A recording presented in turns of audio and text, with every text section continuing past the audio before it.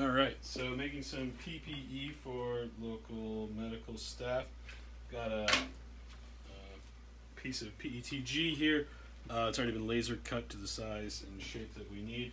I'm gonna throw it in my toaster oven at 200-ish degrees. It's on the warm setting, um, and my thermometer says it's about 178 degrees in there. Uh, I'm gonna leave it in there about 20 seconds, maybe a hair less.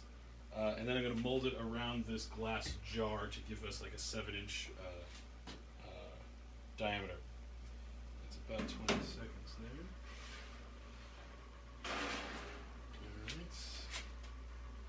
I try to hold and force the top into place first, because I think that's probably the most critical part since it's, uh, it's against your forehead.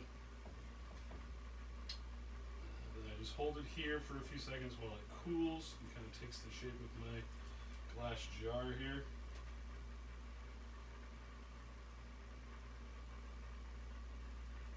I'm wondering if a fan or something would help cool it quicker and take the take the shape. Um, basically, once we get through that process, we can clip it onto our 3D printed parts, and it stays. Pretty clear still. Not bad.